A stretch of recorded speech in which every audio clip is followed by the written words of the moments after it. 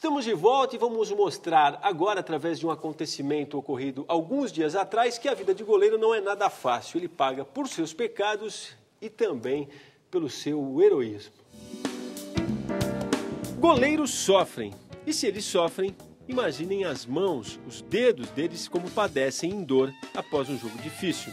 Às vezes a dor pode vir até após uma defesa simples, como foi o caso de Júlio César, do Corinthians, na partida contra o Botafogo, onde ele sofreu uma luxação no dedinho e provocou cenas que causam arrepios e dor até a quem assiste.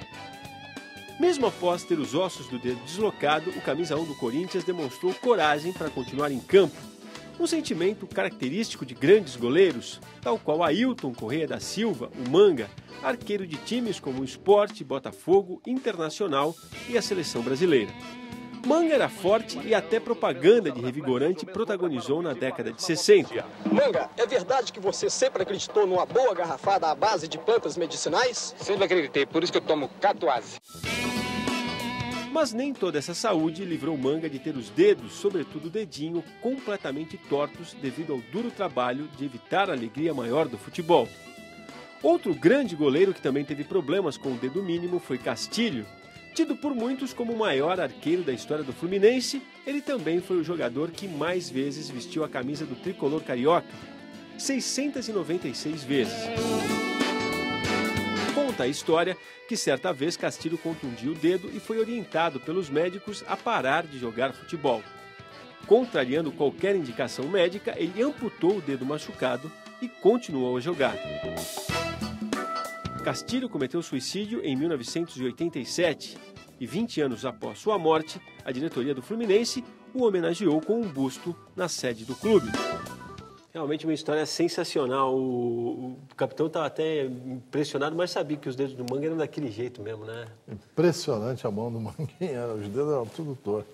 E o... o Castilho, depois que amputou, ele inventou um método né, para completar aqui. Né?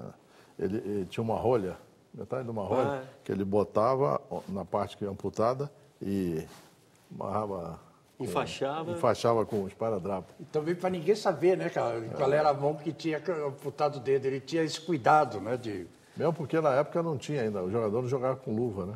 É. O, eu vou entregar aqui, ó, ser goleiro a gente vê não é uma das coisas mais agradáveis né, do mundo do futebol, mas agora o Michel Lohance, que foi goleiro, vai nos contar um de seus causos. Michel, eu tenho certeza que você vai falar de goleiro. Vamos lá.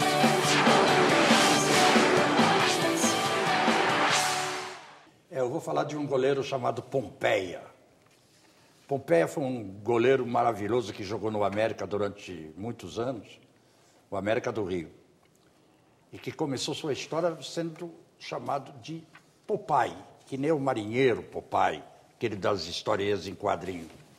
Ele o, o nome era difícil, Popeye, transformaram em Pompeia.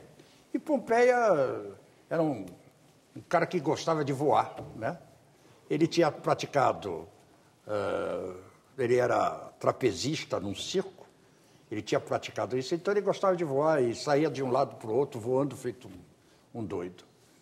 Aí ele foi jogar depois na Espanha, foi para a Venezuela, e na Venezuela ele começou a sentir que tinha um problema na vista. Quando voltou ao Brasil, ele foi consultar o médico e ele perdeu a primeira vista.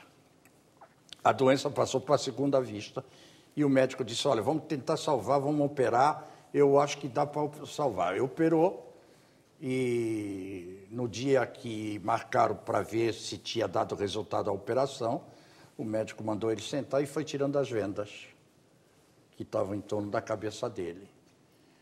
Aí o médico olhou e o Pompeia se virou para ele e fez assim: Tira a venda, doutor, tira a venda. Já estava sem a venda. Ele já estava cego. A história realmente é triste, mas é, é, parte da memória do futebol. É bacana essa lembrança do Pompeia. Eu queria registrar que também conversei com, com confessei para o Michel quando era moleque, gostava muito de jogar no gol e era chegado numas pontes também, pegava a bola. Quando pegava, eu falava, manga! Capitão, até Valeu. semana. Aliás, até daqui a duas semanas você tem uma viagem para fazer Semana no que vem Cosmos. vou lá na despedida do Paul Scholes. Olha lá, nada como ser importante, nada como ser importante. Boa viagem, Valeu. capitão. Michel Lohance. Valeu. Aquele abraço. Grandes momentos de hoje fica por aqui na sequência. Você acompanha o Jornal da Cultura. Nós voltamos terça, 10h15 com Cartão Verde e na próxima quarta, 8h40 da noite, com o Grandes. Até lá, juízo, torcida brasileira, como sempre. Obrigado pela companhia. Tchau.